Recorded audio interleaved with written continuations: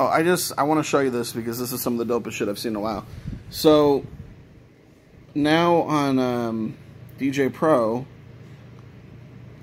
for the iPad, you can um, isolate vocals and sounds and everything. So check this out.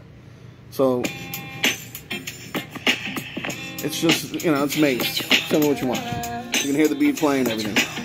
Now check this out. I can isolate it where it's just the drums.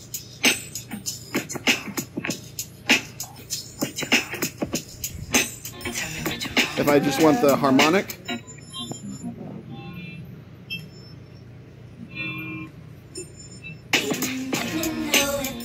and if I just want to make it a cappella.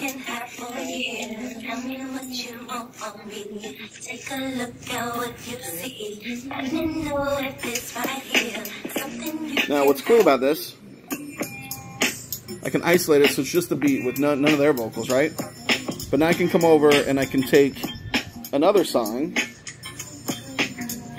and put it so that it's just the vocals on that.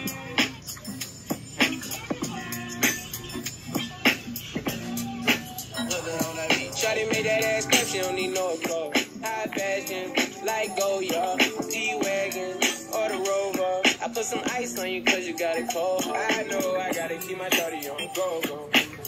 Drop that ass to the floor, floor. Yeah. Ah,